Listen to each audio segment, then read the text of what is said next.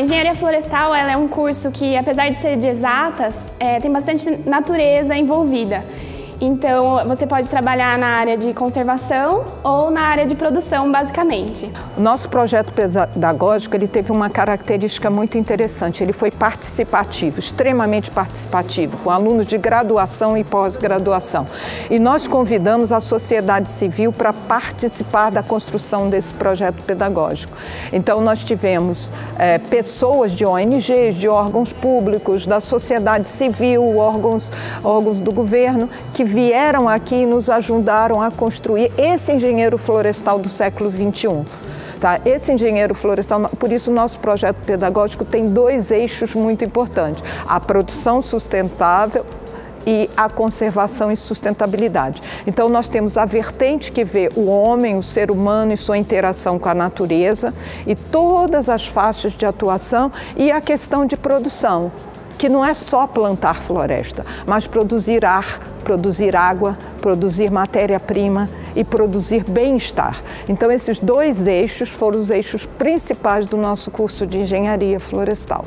A vertente de produção, que é a vertente na qual eu me enquadro, é voltada para a área de produção de papel e celulose, a produção de painéis e também ah, no qual a minha pesquisa é, engloba a produção de energia para os processos industriais em geral. A área de conservação nós atuamos desde a área de manejo de fauna, conservação de fauna, o manejo dessa floresta, como essa floresta pode ser conservada, como os recursos genéticos dessa floresta podem ser conservados e isso como é utilizado no dia a dia pela humanidade. Nós temos várias oportunidades aqui dentre as entidades do nosso curso, Atlética, o nosso centro acadêmico, a empresa Júnior mesmo. A empresa Júnior, ela é uma empresa consolidada, então ela tem CNPJ e ela atua como qualquer outra empresa.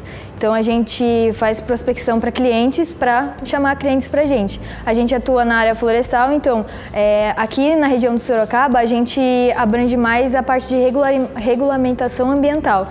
Temos diversos projetos de extensão, que é uma coisa muito ligada ao curso de engenharia florestal, onde o aluno consegue entender a teoria e praticar de maneira é, sustentável fora do núcleo chamado campus UFSCar.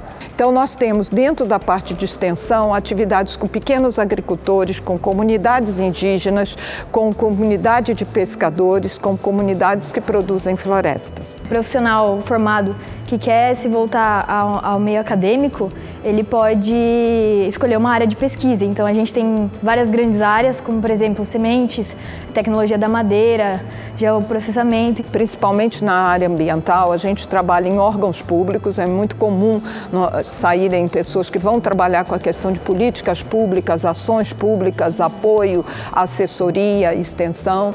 Fugindo um pouquinho da área mais tradicional, que é de celulose papel, nós temos a área industrial.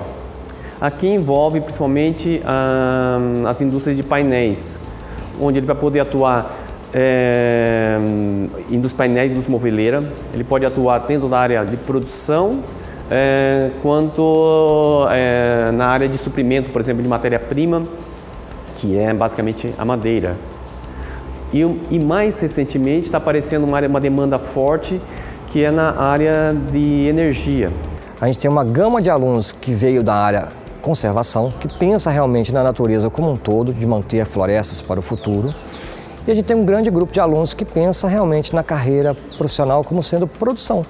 Ou seja, eu quero trabalhar numa grande empresa nacional ou internacional e gostaria de pensar em produção de florestas em grande escala. O que eu mais gosto no curso é você poder realizar coisas dentro da universidade que vão além das aulas.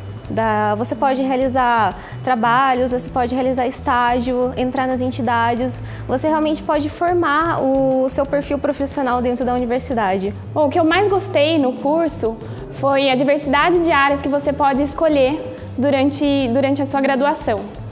Então, eu escolhi esse curso em função é, de ser um curso de exatas, porém com, com essa parte ambiental bastante desenvolvida.